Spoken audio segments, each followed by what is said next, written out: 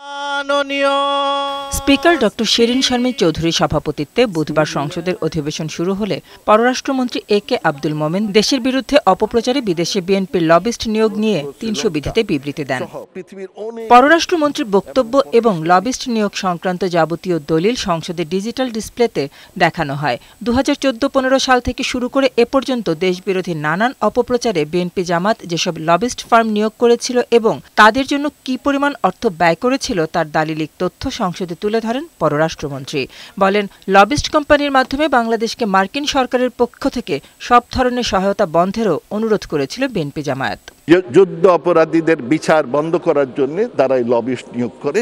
প্রতি মাসে পাঁচশো পাঁচ পঞ্চাশ হাজার ডলার করে দেড় লক্ষ টাকা দেয়।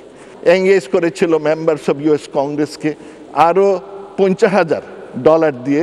দিয়ে তারা ইউনাইটেড স্টেটস গভর্নমেন্টকে প্রভাবিত করার জন্যে পিস অ্যান্ড জাস্টিস এক লক্ষ বত্রিশ হাজার ডলার সেই টাকা দিয়ে এই প্রতিষ্ঠানকে নিয়োগ করে প্রধানমন্ত্রীর ছেলে ও তার তথ্য ও প্রযুক্তি বিষয়ক উপদেষ্টা সজীব ওয়াজেদ জয়কে কিডন্যাপের জন্য বিপুল অর্থ ব্যয় করে বিএনপি জামাত। মন্ত্রী বলেন রাষ্ট্রবিরোধী এমন অপপ্রচার ও দেশের অনিষ্ট করার অধিকার তাদের নেই।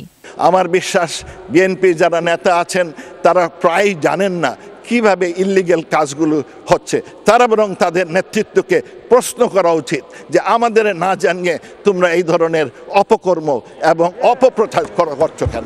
র্যাব সম্পর্কে অসত্য তথ্য দিয়ে বিদেশিদের বিভ্রান্ত করার চেষ্টা হচ্ছে। এ ব্যাপারে মার্কিন সরকারের সাথে আগামী মাসে সংলাপ হবে বলে জানান পররাষ্ট্রমন্ত্রী। তিনি বলেন, রাষ্ট্রবিরোধী অপপ্রচারের বিরুদ্ধে দেশের প্রকৃত সত্য তুলে ধরতে সরকারকে পিয়ার ফার্ম নিয়োগ দিতে হয়। আমরা যে প্রতিষ্ঠান নিয়োগ করেছি না তো তাদের দায় দায়িত্ব ছিল।